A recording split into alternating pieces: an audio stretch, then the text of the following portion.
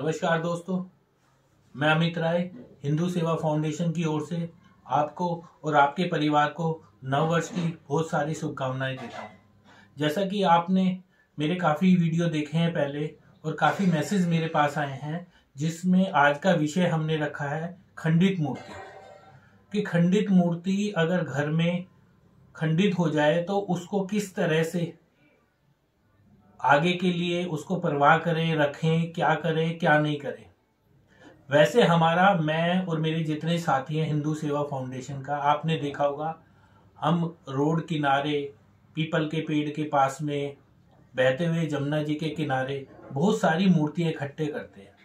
हमारा काम है कि हिंदू सेवा की, समाज की सेवा करना और जो मूर्ति कुछ लोग कहीं पर भी रख के चले जाते हैं, वो ना रखें। वीडियो बनाने का पर्पज आपको समझाने का पर्पज यही है। जो मेरे पीछे आप इतना खूबसूरत दरबार देख रहे हैं, ये भी दिखाने का पर्पज ये है कि ये सारी की सारी जो मूर्तियाँ हैं, ये सब मेटल से बनी हुई है। और जिसके, और जिसने ये सजाई हैं, अजय भारद्वाज ने, वो बहुत ही खूबसूरती ढंग से आप ये देखोगे, हर मूर्ति पे रंग किया हुआ पेंट किया हुआ है। तो ये ज़रूरी नहीं है कि आप ऐसी मूर्तियों को लाएँ अपने घर परिवार में, वो जो जल्दी से खंडित हो जाए।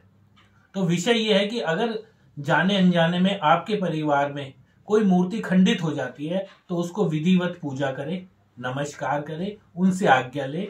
अगर मट्टी की मूर्ति है तो कुछ समय बाल्टी के पानी में या कागज़ की मूर्ति है तो उसको कुछ समय बाल्टी में रखें जब तक कि वो मेल्ट ना हो जाए। मेल्ट होने के बाद में आप उसे मट्टी की तरह यूज़ कर सकते हैं, खाद में मिला के।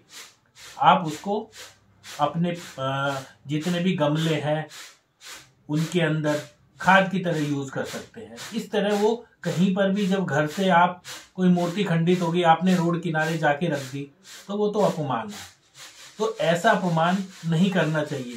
साथ में हमारी ज़िम्मेदारी बनती है कि जो लोग ना समझ हैं, वे मूर्ति पीपल के नीचे ऐसे ही छोड़ी आते हैं, बहते हुए पानी में कहीं पर भी डाल के चले जाते हैं तो हमें उन लोगों को समझाना है। हमारा कार्य हम जाते हैं जगह जगह मूर्ति इकट्ठा करते हैं और लोग बागों को साथ के साथ में वो दिखाते भी हैं कि हम आज इस एरिया में हैं और इस एरिया में हमने ये कार्य किया है। दूसरी बात कि कम मात्रा में मूर्तियाँ खंडित हो, उसका क्या उपाय है?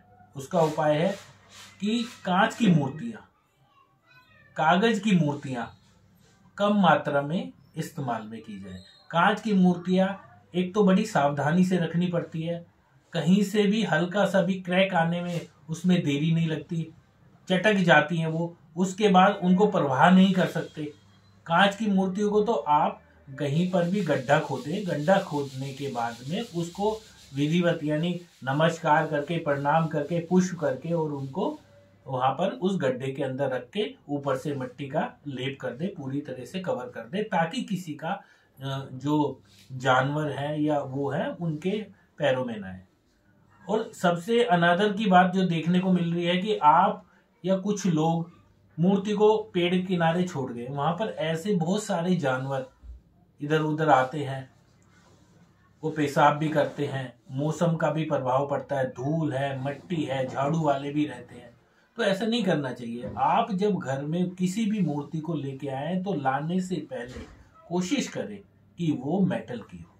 अगर वो मेटल की होगी तो वो आपके परिवार में साल, दो साल, पाँच साल चलती रहेगी। फिर भी अगर आपके मन में आता है कि मुझे उसको किसी को देनी है तो आसानी से लोग बाग उसको ले लेंगे। आप ये चाहते हैं कि वो उसका स्वरूप बदले, मैं किसी नए स्वरूप में उसको लू तो मेल्ट की जितनी भी जो मूर्तियाँ हैं हमारी देवी देवता की, वो आसानी से मेल्ट हो जाती है और एक नए स्वरूप में हमें मिल जाती है।